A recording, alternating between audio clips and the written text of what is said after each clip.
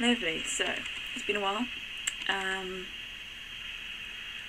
been about two months because I got a job and I didn't read as much as um, I probably should have done. Because I well, I still have read. I've read quite a few books since then. I haven't been constantly reading. I've had to do other things too. Um, so yeah, um, and I've, I'm still writing my, on that book blog, but I've been taking a hiatus from my film one because I haven't, I don't really watch films anymore. Um, at least not at the moment. Um, and a fair while ago, um, I read a book called The Swallow and the Hummingbird by Santa Montefiore. It's kind of basically these two people who are supposed to be in love, um, and it's like the war. The chap comes back and he's kind of emotionally tormented by the war, and then he goes back to Argentina. He goes to Argentina and marries a, a woman who's got a scar on her face, and it kind of has ramifications down the years and all that sort of stuff. And I just have to say, I didn't really like this book. The main the main guy was um, not very nice. He um, he was just very frustrating as a character. He kind of mocked. He didn't outwardly mock her, but he kind of mocked it in his inner inner his inner thoughts. He was mocking his the woman who loved him for sort of waiting for so long for him it was a bit silly because it was like she gave up her life to wait for him, and then he didn't kind of. And he suddenly decides that he doesn't really want her anymore. It's sort of a bit stupid. Um, and um, yeah, and the, main woman was a bit of a doormat because she literally spent her whole, whole entire she spent her, her whole entire life waiting for him. It, but what was probably most frustrating, uh, Rita, who's the main, main woman, she was so annoying like longed for this guy for years, even though he obviously gave no indication that he even liked her anymore. You know, it's just kind of really stupid. Um, and the fact that she kind of defines herself by her sort of love or infatuation for him, and she even like nearly commits suicide over this guy. It's just like that, that he's not even worth it. It's he, he just was so hollow as a character. There was no, I mean, I just hated her motivations for doing things. Um, and even when he went off to Argentina and, and married this woman, I think she's an American. She had a scar. She's had a scar on her face, and he only does it because he thinks he can rescue her from like herself. It's just like she should be strong enough to do that for herself. She, she doesn't need a man to do it.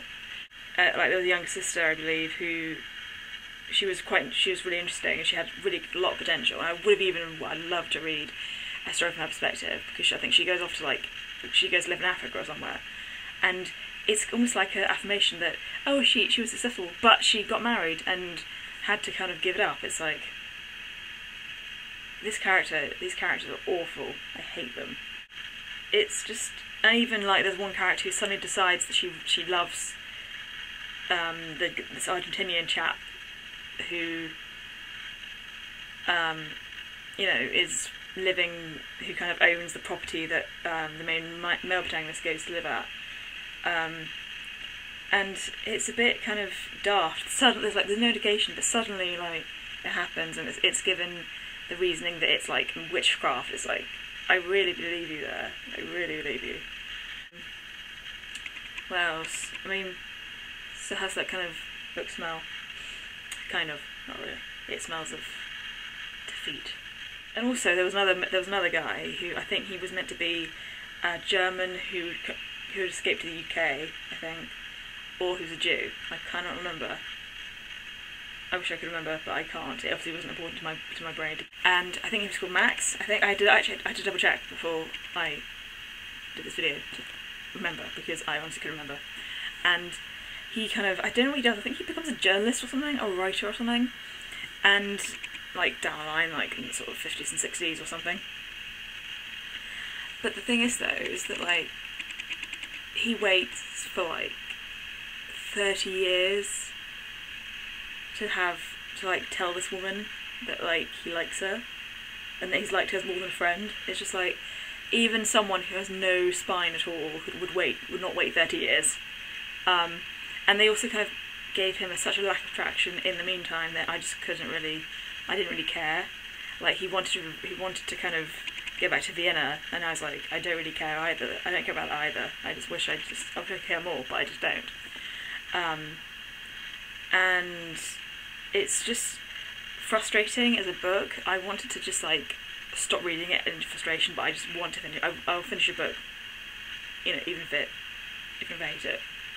I mean, I've seen that the woman has done the Santa Montefiore has actually done other books, but I've not really been motivated enough to want to read them as well. Because if it's if her stuff is as bad as this, I'm really not interested in reading anything that's probably so cut and paste that it's probably just the same book. But then actually, like it has its fair share of good moments. It wasn't completely awful, so I'm, I'm not going to completely hate it. I might hate it for a whole while though. There was like a sort of emphasis on the fact that um, this guy, the main guy, was suffering from like PTSD. Um, and while like that's an interesting aspect, I don't think it completely redeems him as a character for doing what he did to the woman because like she gave her life for him. I don't think the PTSD plot was like sufficiently explored enough. I think we just kind of always indicated, oh yeah, he's he's damaged, he's tortured, he's he's broken, he needs somebody to fix him. And then I think it kind of dealt very well with the with the whole idea of how like a small town reacts to conflict and how a small town kind of will rebuild itself. Um, you know, when bad stuff happens, like wars and stuff. I mean, I'm sure if, if you wanted like a romance that, was like a romance story that you know you could read for like a couple of days and forget about, I think this would be the perfect book because, um, yeah, it's great if you want something just to switch your brain off to. But if you want something a bit more kind of long lasting, I think you should probably find another book to read. To be honest, because without her romance with the chap, the main um, uh, Rita was like nothing. It was really weird. It was like it was also almost without him. She completely lost traction. Um, there was no kind of indication that she'd even had any other interactions with anybody else um, since like this guy goes off to Argentina, and it's all just a bit shit, really. Um, yeah, that's this book reviewed.